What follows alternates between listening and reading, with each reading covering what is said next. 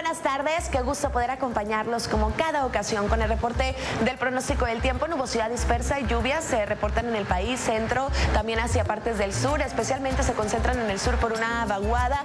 Hay que destacar la llegada de un frente frío, va a empezar a generar cambios en el norte y noreste de México para los próximos, eh, para las próximas horas. Ya en esta noche empieza a soplar viento del norte hacia estados de Coahuila, Nuevo León, Tamaulipas. Se espera un descenso moderado en la temperatura, es un frente frío débil, sin embargo va a generar nubosidad densa lluvias que tienden a generalizarse desde esta noche en aquellos estados y son válidas para domingo y también para el lunes. Así es que en el noreste de nuevo se espera un evento importante de precipitación y por supuesto va a continuar el viento del norte para el día de mañana, acentuando el paso del sistema frontal, generando ese descenso moderado en cuanto a la temperatura. El Pacífico se mantiene muy activo. Tenemos a la tormenta tropical Vicente, que actualmente se mantiene a 155 kilómetros al oeste, suroeste de Tapachula. Tiene vientos sostenidos de 65 kilómetros por hora que alcanzan hasta 85. Movimiento hacia el oeste, una velocidad de 11 kilómetros por hora. Su presión atmosférica es de 1005 milibares. Esta es su posición actual y su trayectoria para los próximos días. Tormenta tropical Huila, que le comentábamos era la depresión 24 de la temporada, rápidamente se ha intensificado.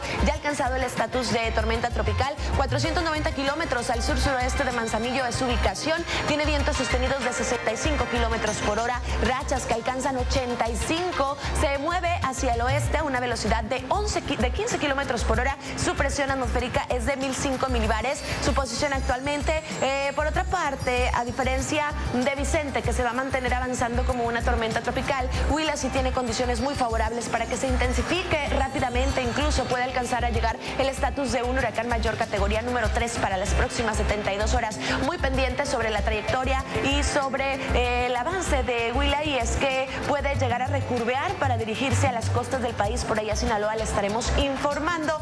Hay que mantenerse, por supuesto, muy atentos de todos los avisos meteorológicos y mm, recurvear hacia el norte un poco más para acercarse a las costas del territorio nacional. Bueno, las siguientes 72 horas hay que estar muy al pendientes y atender todos los avisos y las alertas emitidas por autoridades y por protección civil en aquellos estados. Y bueno, aquí también en Milenio Noticias le estaremos actualizando toda esta información para que se mantenga muy pendiente.